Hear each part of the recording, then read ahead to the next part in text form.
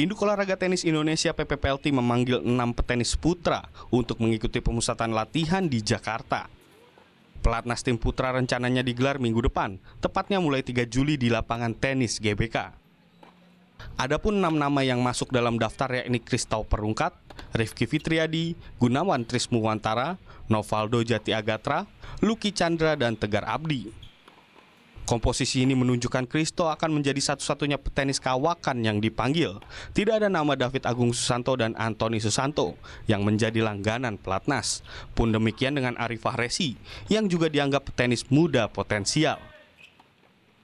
Di Jakarta mereka tidak hanya berlatih, tapi juga akan ada simulasi pertandingan internal di sektor tunggal dan ganda, seperti halnya yang sudah dilakukan lebih dulu oleh tim putri. Jadi pada waktu itu mereka berlatih, nanti habis itu kita akan adakan juga kompetisi di internal putra, dan nanti kita akan lihat hasilnya juga bagaimana tim putra ini sampai kita juga mereka berlatih uh, masing-masing. dan oleh itu kita gabung dan habis itu kita akan lihat bagaimana mereka uh, kalau bertanding karena udah lama juga mereka tidak bertanding. Saat ini PPPLT akan mengurus segala administrasi terkait perizinan para petenis untuk berlatih di Jakarta.